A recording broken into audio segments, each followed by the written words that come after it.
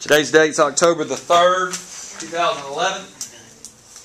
This is section 3.1, Math 1, accelerated Math 1, but it's the same thing for Math 1. Um, we're talking about cubic graphs. Uh, we're going to be talking about how to, how to graph them. Uh, we're going to talk about the end behavior. We're also going to talk about even and odd uh, a little bit. Um, I think that covers it. The first thing we're going to talk about the, uh, is a basic graph. Here is a basic cubic function. It looks uh, kind of like a uh, parabola uh, that has been cut in half and then the left-hand side has been flipped down. This side over here is exactly the same as this side, it's just been flipped down. This is the graph of y equals x cubed. Uh, this is section 3.1 again. This is the graph of y equals x cubed. This is the standard graph. All other graphs come from this graph.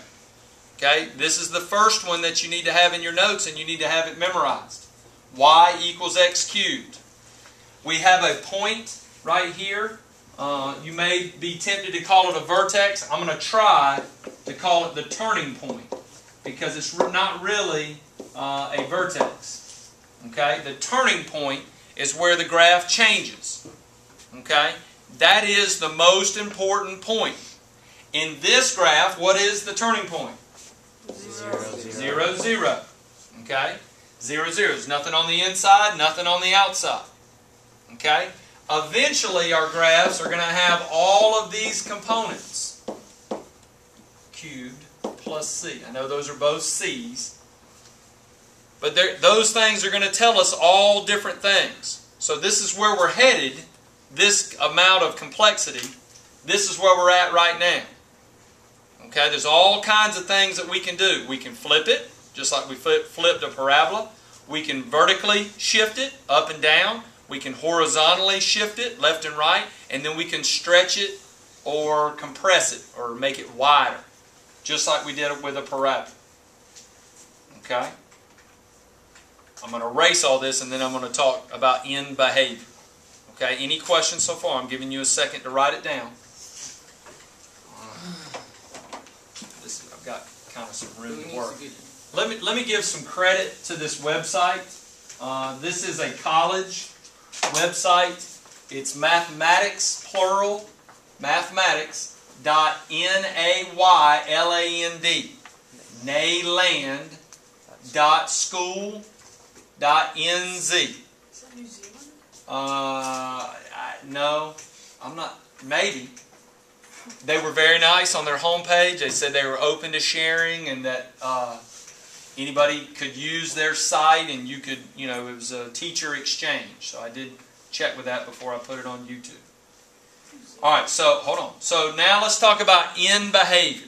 Okay, write that down. This is not something that uh, we've talked about before. Behavior. B E A H. No, there's no A. B E. H. There's an A on beautiful. B E H A V I O R. Is that right? Behavior. End behavior. All right. The way that we write it is we say as x approaches infinity. Then, what is y approaching? Okay, in this graph, we're talking about this graph. Negative. Hold on, hold on. As x approaches infinity, here's the x-axis, right? Here's the x-axis. As x approaches infinity, as it gets bigger and bigger and bigger, where is the graph going? Well, here's the y-axis. What is it approaching? Positive infinity. The graph is going up and up and up and up and up and up forever. So as we go this way, as x gets bigger and bigger and bigger, what is happening with y? It's, it's also approaching positive infinity. That's how the problem would be stated. It would say, as x approaches infinity, you would say y approaches infinity. David? Is that ND? End behavior. E-N-D. Oh, End behavior.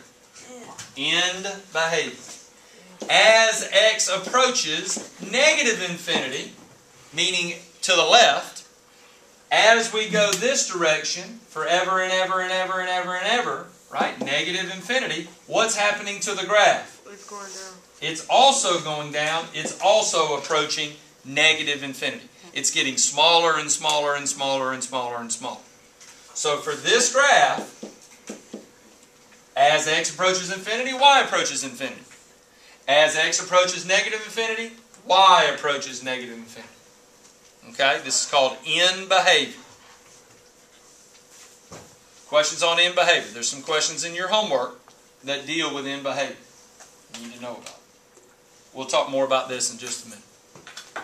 All right. Let me get out of this by doing that, and then let's come on down. All right. So there's your parent graph. Y equals x cubed. That's called a cubic function. All right. So here's the first thing that we can do.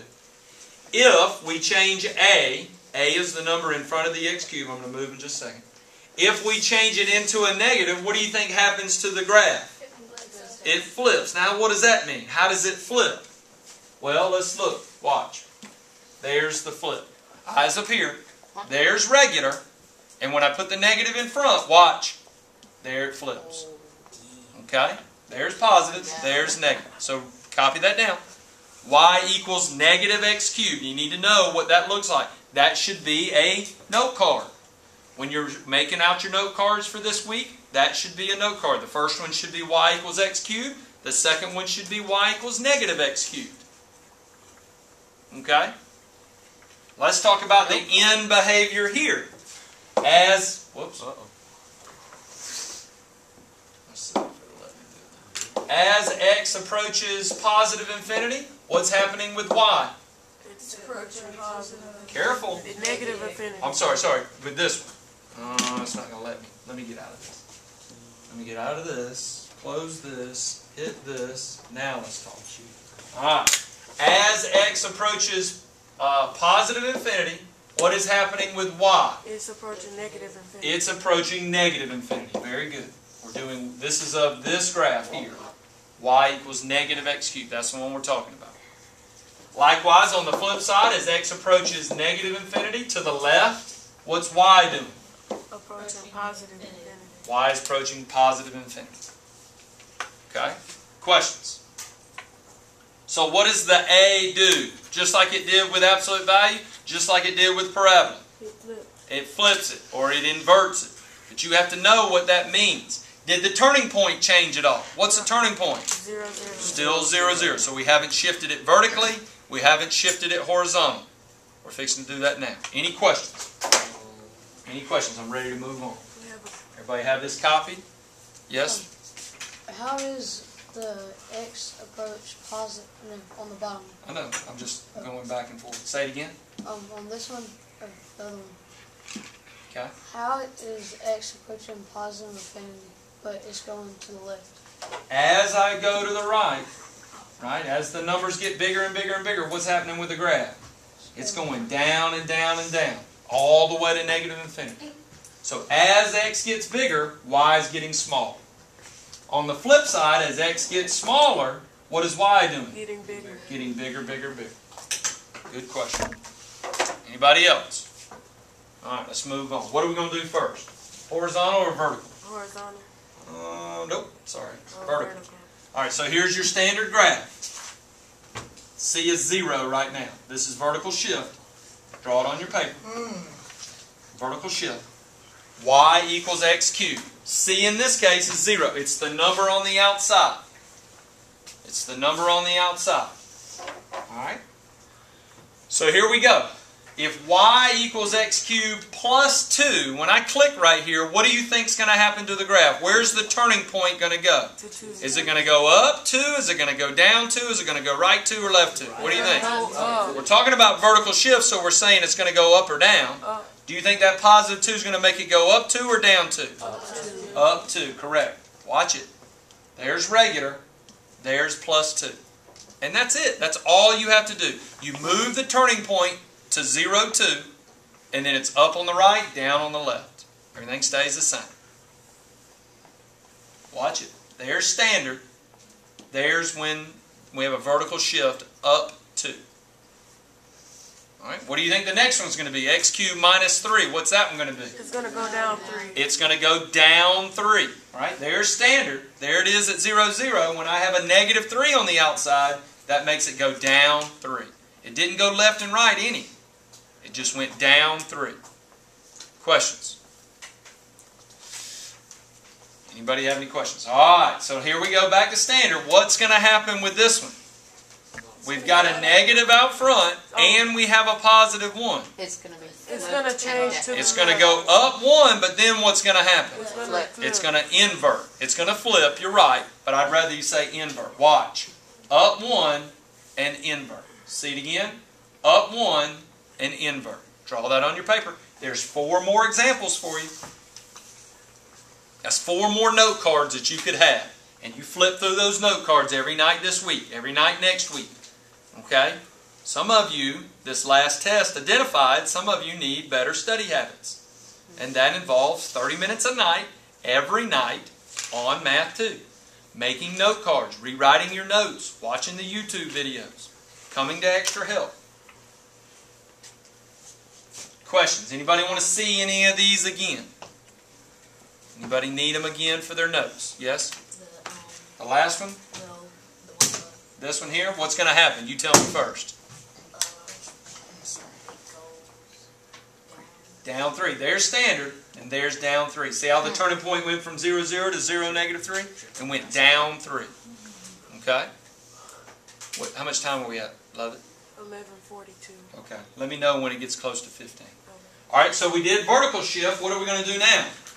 Horizontal shift. Horizontal shift. What's horizontal mean? When, Left and right, right? Like the horizon. Horizontal, left and right. So notice now we're talking about stuff on the inside. We hadn't done anything on the inside. It's always been zero. If I put stuff on the inside, and this one is y equals x plus 2 cubed, what do you think that means? What is that positive 2 going to mean? Is it going to mean 2 to the right or 2 to the left? Do you think we're going to do the same or we're going to do the opposite? the opposite. We're going to do the opposite, just like we did with parabolas in vertex form, just like we did with absolute value.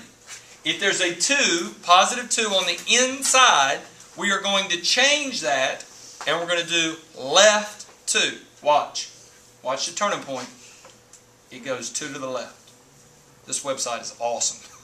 Keeps me from having to graph all these hundreds of graphs. And they're accurate. They're 100% accurate. And look how nice that is. 2 to the left. All right, what about this one? Let's talk about this one. X minus 2. What is that going to make it do? We're gonna go two to the right. I'm going to get a horizontal shift of 2 to the right. The turning point went from 0, 0 to 2, 0. I shifted it 2 to the right. Boyd, there's the original. There's 2 to the left. There's 2 to the right. Okay? Anybody else? All right, so how about this one? It's, What's going to happen here? it's gonna invert and it's, It's going to invert, and what else is it going to go? One to the left. It's going to go to the left. How far? One. Going to go left one. Watch it. There's original. There's one move to the left, and then it inverts. See that negative? See what the negative makes you do? The negative makes you flip it. Okay? Questions? Any questions? All right, now let's see if we can put it all together. Would you have to solve for x and minus? No, not right now. We're just graphing. This first couple sections is all about graphing cubics and square roots and um, hyperboles. We're going to graph all, you know, just some kind of other things other than parabolas. We're going to talk about end behavior, domain and range, all that good stuff. Well, they're combined. All right, so now we're going to put it all together. This is as hard as it gets. This is as complicated as I can make a cubic. What do you think is going to happen on the first one? This is standard, right? We're at 0, 0, and we're normal. What's going to happen here? It's gonna go one to the right. It's going to go to the right one, and it's going to do what? go up two. All right, everybody watch. Eyes up here. Right one and up two. Let's watch. Boom, there it is. It went to the right one and up two. All right, see it again? Right one and up two. See it again? Right one and up to The turning point shifted. All right, what do you think is going to happen here? It's gonna go to the left two and Left down two one. and down one. down one. Left two and down one. Just like vertex form or parabolas, just like absolute value.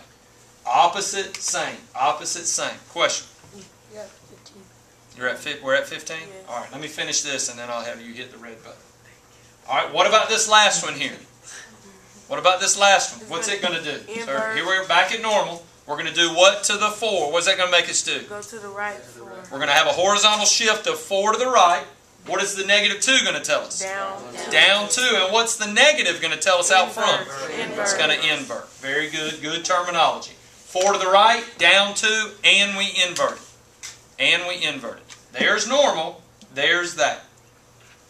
Okay? Question. It's a great website. Are we ever gonna have to draw these? Yes, that's what that's the whole goal. Is for me to give you that problem and say you graph it. And you you've got to know standard and then you've got to be a, and not only can you graph it, can you tell me how this graph is different than that graph? Right? Than the one we started off with, y equals x cubed. Well, How is this graph different? Well, we have a hor- horizontal shift of 4 to the right. We have a vertical shift of 2 down, and it's inverted. If you can describe it in that much detail, then that tells me you really understand cubics and you really understand how to graph. All right, hold on. Uh, Marlo, hit hit the red button. Let's turn it off. See what happens.